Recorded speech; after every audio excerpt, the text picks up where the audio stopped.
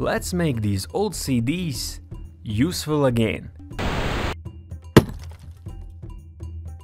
I found this cake box full with CDs and DVDs. I used a smaller CD to draw a circle on other CDs and DVDs. After drawing all the circles, I cut them out. I clamped all the CDs together and applied some glue on the inner sides. I had to fit the small CD inside of the hole, so some trimming had to be done. Then it was time to make a lid. I glued the normal CD on top of the small one and used the spindle for the handle.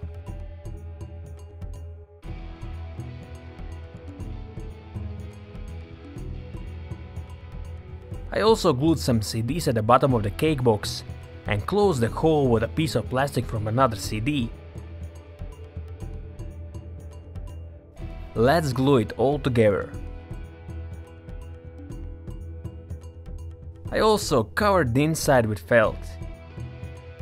And here you have it.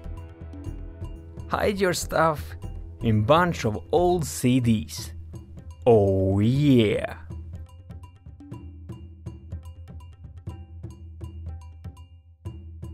Do you still use CDs or DVDs? Sometimes I record a CD for the car, but that's pretty much it. What once was the coolest thing ever, now is becoming a history.